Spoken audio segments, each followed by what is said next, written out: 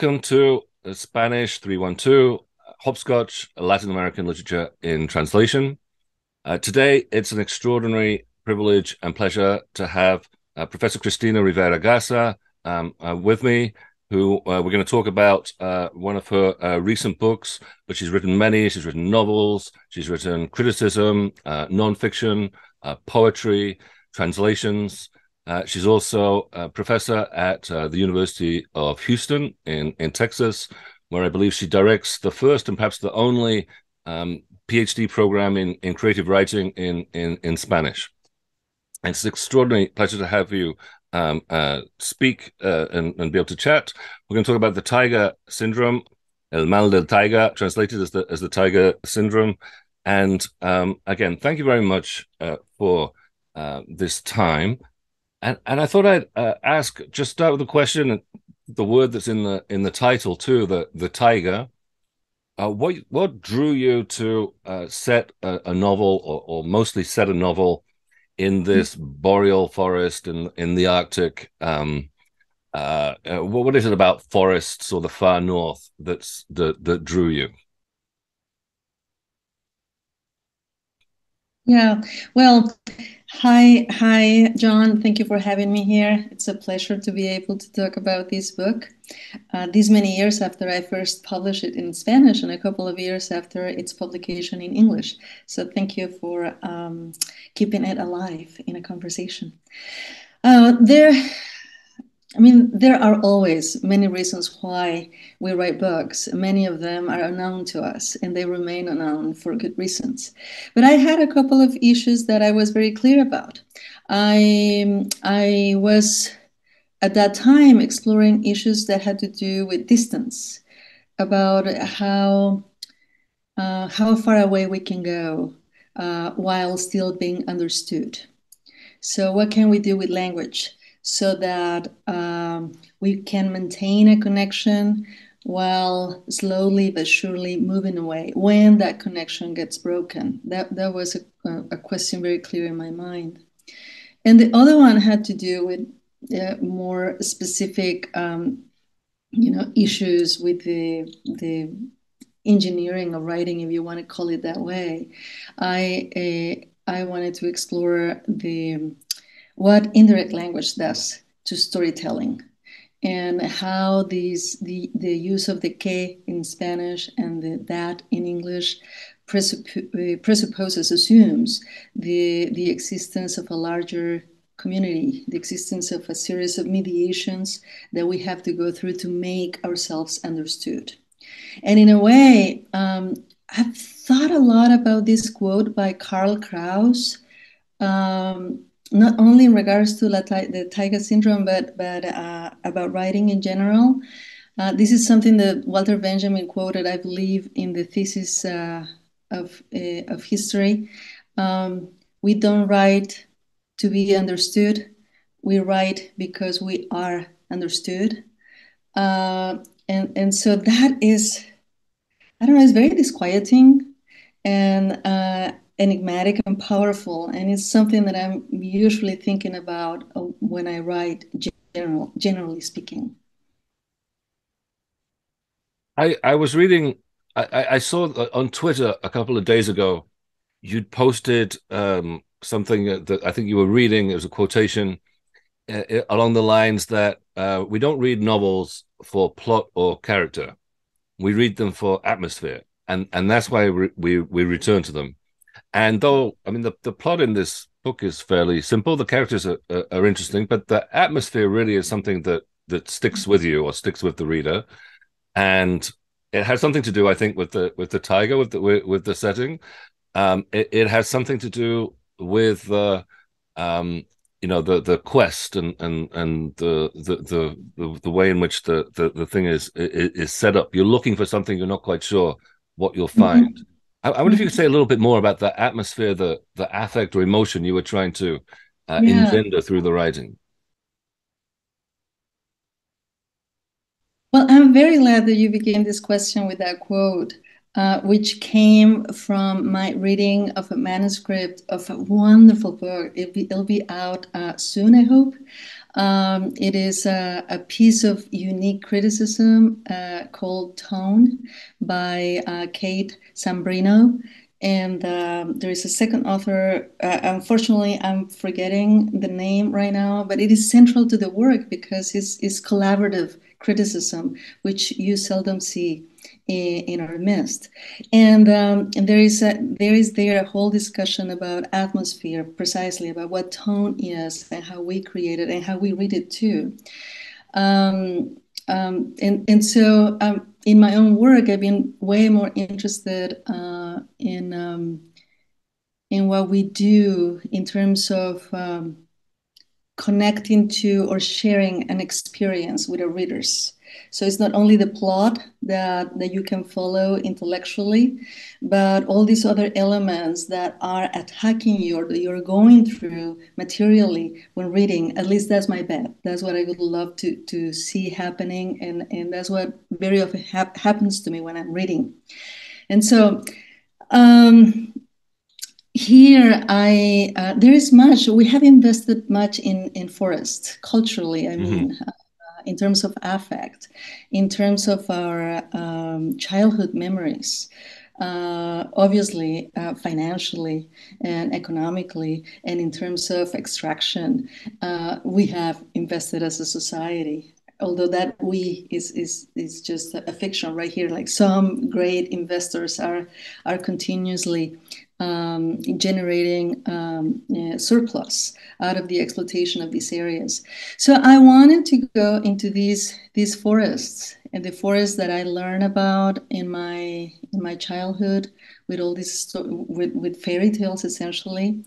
I, I wanted to to take the well-known plot of, um, of fairy tale and detective work because I wanted to take readers into the unknown so it always works better in my experience when I'm a, when I'm a reader myself, when um, when authors or narrators uh, throw me a line, something that I can feel some somehow safe and secure, and then I, will be more willing to go into new territory. And so I, I was trying to to go for something similar right here. So we share culturally we share much of, of the experience of, uh, of forest and forest making through um, through uh, fairy tales.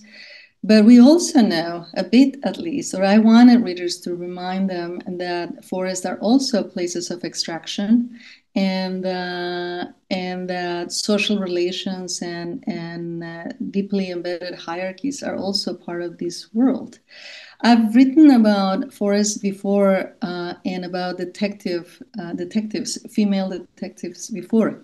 My the nameless female detective of this story has shown up uh, in several of uh, several short stories of mine. Um, some of them were published um, last year uh, by Dorothy Project by the same press uh, under the title of. Um, selected the news stories.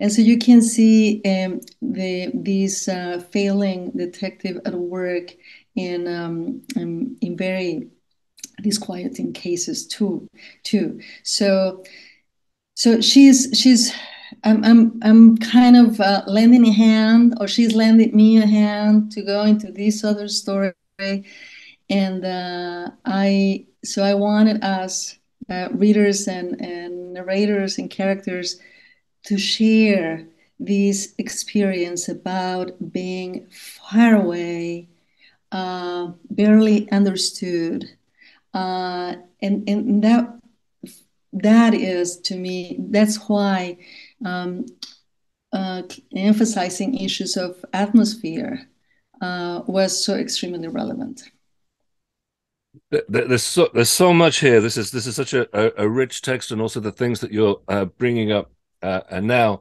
So uh, the the narrator of the of the book, as you say, is a, a, detective, a sort of reluctant detective, as you say, a failed detective, a semi-retired detective, detective, and she's so she's on a quest that is not quite her own. She takes on this she takes on this mission or, or case uh, to, to go look for this uh, uh, woman and and uh, a man, this couple, um, who uh, last heard of uh, somewhere in the Taiga, somewhere in the north. And so part of what we're reading is, is a sort of report back, is her report back, and we're we're and but it's also very intimate at the same time. I I, I wonder if and, and it's about her feelings and as you say in this uh, place that she's never been before, where everything's a little strange, where she doesn't speak the language.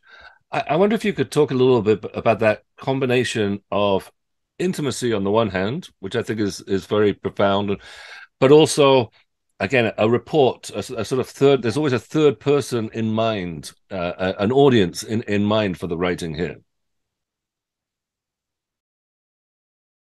Oh, absolutely, and that's that's a part of the, this continuous mediation that we have to be aware of, uh, uh, however unconsciously, as we continue with the reading, right? So she is uh, she's accepted this job reluctantly, as you said.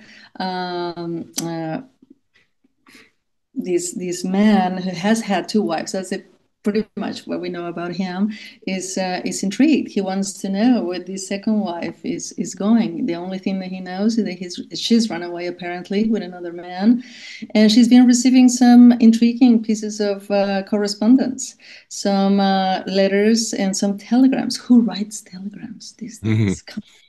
So that that talks to us, or should in any case talk to us about uh, space, but also about time. What what is the time element right here? Who, uh, in this day and age, is still writing telegrams? Well, and uh, and so we know at least what we know is that this this woman who has uh, failed miserably in in several previous cases, and you have the books so that you can go back and actually uh, learn about these specific cases.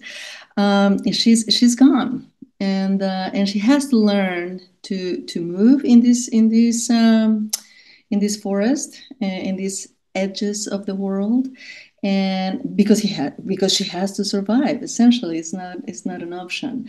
And since this is a job she has to report back and that's the writing. So it, it's not a writing that is um, selflessly generated. It's a writing that is aiming for a very specific audience. But at the same time she's she's writing from a very unstable place where the public and the private are not necessarily um, uh, clearly separated, right? So there is a lot of uh, what you might call personal, personal, intimate uh, rumination about what she's going through. Much of what she's not very clear about, right? But but she's reporting that, and uh, and she's in a way creating an archive. So she's not resorting to an archive, but creating one and trying to make that archive understandable first to the man who has hired her. I mean, this is a commercial relationship, and I think mm-hmm. that's very important to me. At the at the at beginning of the story, this is not a quest for knowledge. This is in many ways a quest for money, and uh, and resources and and uh, and surplus is what is being generated also in this forest. So I to my mind, there is a connection between what she's doing. I mean, she's not an innocent um, uh, character right here, but she's been moved perhaps by the same kind of values that that are devastating this area of the world. But well, so I, I guess that that combination of the highly personal and intimate, and, and at the same time um, the very objective uh, kind of information that she has to share with her boss, um, it's, it's precisely uh, we think that that that, um, that cycle of uh, of um, of uh, extraction and and and ganancia and surplus, right? Accumulation. That's the word I was looking for. Yes. Mm-hmm. And and it makes me think as well. So on the one hand, as we've said, as, as you said, that the, the forest is certainly new to her. Um, it, it's all unknown, and it, it's it's it's kind of strange and un- uncanny. Lots of uncanny things uh, happen in these sort of frontier towns. But also, she's following a trace. She's she's she's she's not the first to be there. In, in two senses, both that the she's she's following this couple that that's part of the mission, you talked about fairy tales. One of the fairy tales that you mentioned explicitly is, is Hansel and Gretel. So she's following these these, um, uh, breadcrumbs right through the forest, Um, but also, this is not, as you're saying, this is not untouched forest, right? This is this is forest that has actually already, to some extent, uh, been incorporated within a, a, global, you know, capitalist extractive uh, uh, system, uh, uh, as you say. So, and and yes, the, the, people who've been there before and the people who who are there already. It, it reminds me what we were talking about briefly before we started this this conversation, before we started recording, about the uh, you were talking about language as always having been used before, right? It's uh, I think you know it's always secondhand to some extent. Mm-hmm. You're always um, writing yourself into mm-hmm. mm-hmm. uh, uh, something that is is is not just yours, right? You're not just your invention. I wonder if you could talk about this notion of something that pre-exists the book, something that pre-exists the narrative and the quest and the plot. Well, um, wow, that's that's a huge, huge question, and it, it, might take more than more time than we have. But um, um, in many ways, uh, I've been exploring this idea of disappropriation as a as a way of explaining a type of aesthetics that um, is very aware of the pre-existing voices and and texts that we use to um, uh, in order to inscribe what we write into traditions that are larger than ourselves, obviously. And such inscription doesn't mean that we, I mean, that we recognize the traditions. It doesn't mean that we assume and honor them fully, right? I mean, you can recognize a tradition and, and try to subvert that tradition with your own um, strategies and elements. And uh, the whole thing uh, gives uh, we might we, we could have a longer much longer conversation about this but in this case I I took advantage of uh, of these short stories that I that I believe are so ingrained in our cultures that we all have a, a, a connection, however feeble, to it, and to plots that are very much ingrained in um, in our daily lives, not only in our reading lives. So um, here we have uh, this uh, this detective uh, even quoting works and stories that, that we know about uh, feral ch- children, about um, um, authoritarian um, uh, uh, politicians and, and investors. And, and it, the thing is that, uh, let me see, there is a way of quoting that in a way honors these subterranean conversation that I believe books are part of. Again, briefly before we, we talked about a stylistic, um, I, I don't know, a, a, stylistic approach that, that you use in writing this, which is perhaps less apparent in the translation, but it's still apparent. Um, uh, the fact that uh, it's often written as if it were reported speech. You use this uh, the Spanish "que," which is you know mm-hmm. that essentially, mm-hmm. Um, mm-hmm. uh, as as if the, the the the the book or much of the book were in quotation, as as you as you say. I wonder if you could talk a little bit about the your choices about how how you chose to to to use that particular structure in so much and so insistently in this particular book. I think it went hand in hand with the issue of distance.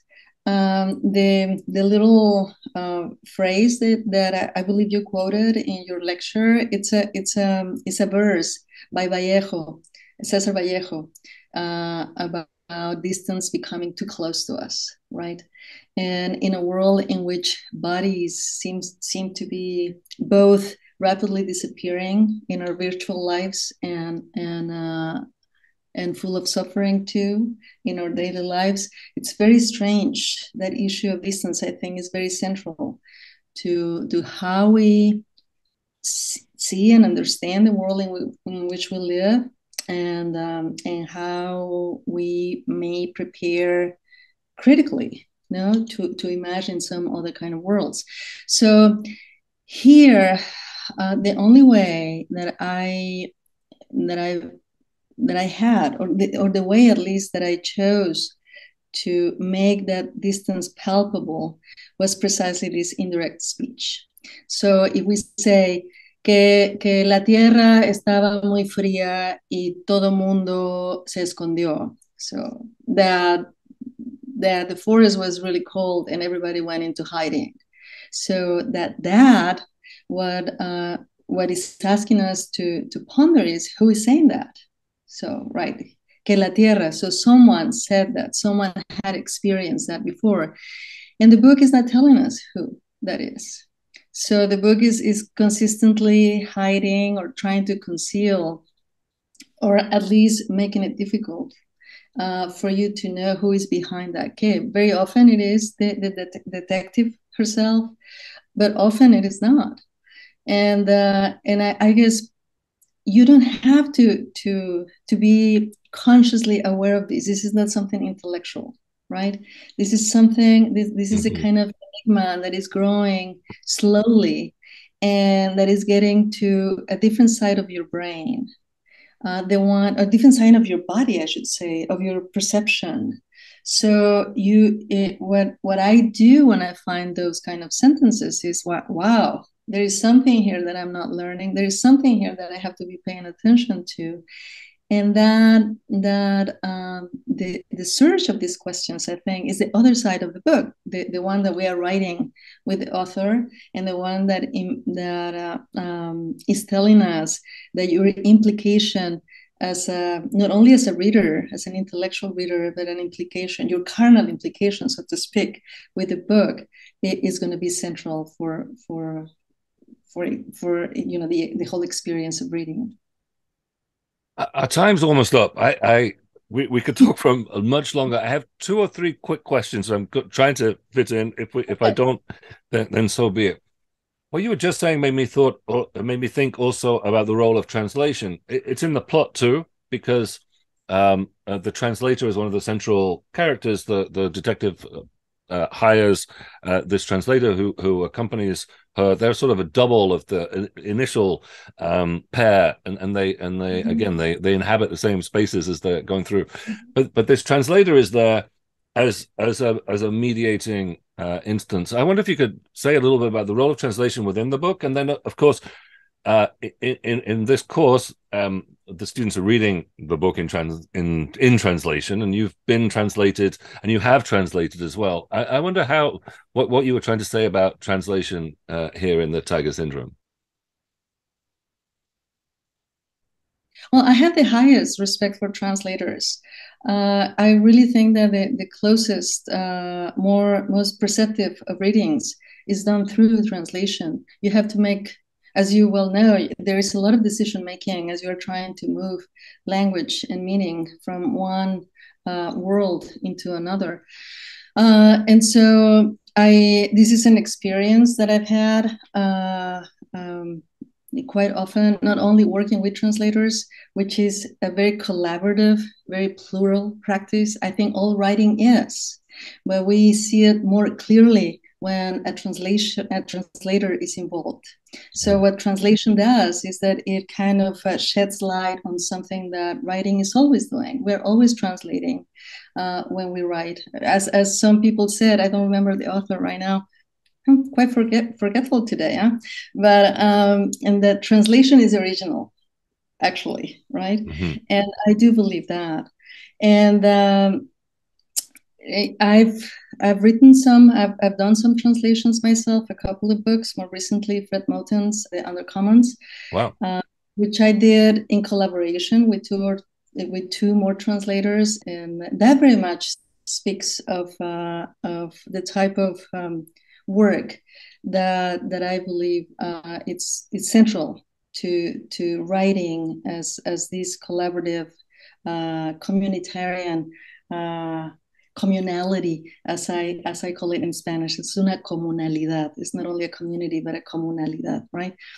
And and on the other hand, um, having gone through those exercises and having lived in the United States for more than 30 years, working quite often in English as well, I think I've, I've gotten used to to write in a translation mode.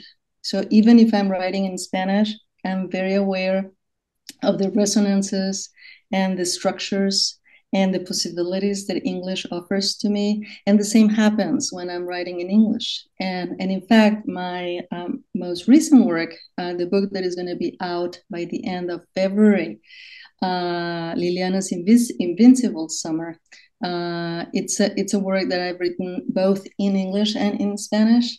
So this is work uh, rendered thanks to this um, translation mode of writing. We'll see how that goes with readers. Wow, I'm, I'm looking forward to that. So I will ask one more question, especially perhaps by your mention of the Undercommons. I, I, I love that book. And um, amongst other things, uh, it talks about, uh, I, I, can't remember the phrase exactly that they use, a sort of fugitive intellectuality, right? And, and, your book is also about an escape, right? An attempt attempt to escape. Yeah. And in some ways, they do. It, they, I mean, the the the the fleeing ex second wife and, and, and never brought mm-hmm. back. But on the other hand, it also seems to me that your book is in part about the impossibility of escape in the ways that we've been talking about, right? That someone's always been there before. That you're always, whether you like it or not, if you're using language, part of a, a community, part of a tradition, uh, uh, which you can never mm-hmm. fully uh, deny. Otherwise, that there's no possibility of communication, of, of translation, and so on. So I wonder what, yes, that sort of figure of escape and fugitivity, how, how you see you see that. How interesting. Uh, uh, it, it, reminds me of that book, Escape Routes. I and again, uh, we will have to Google the, the author. I don't remember the authors right now, but uh, claiming very much as I've said for translation, the translation is original, is uh, claiming that escape is is the is the original experience. Uh, constraint and sedentarism comes after that, right?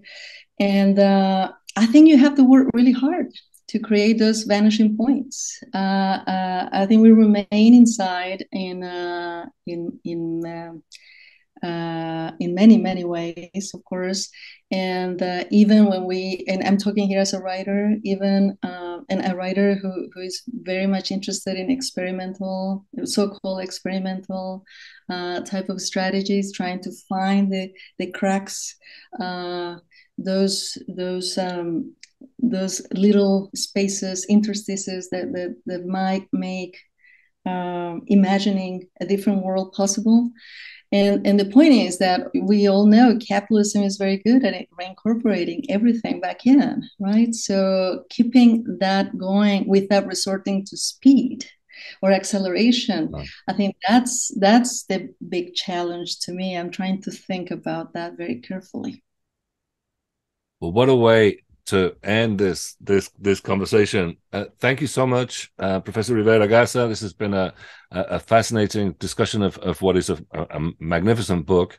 Um, thank you for your time and and sharing a, a, little more of your thoughts. No, thank you. Thank you for your reading and this conversation, and hi to all the students in your classes.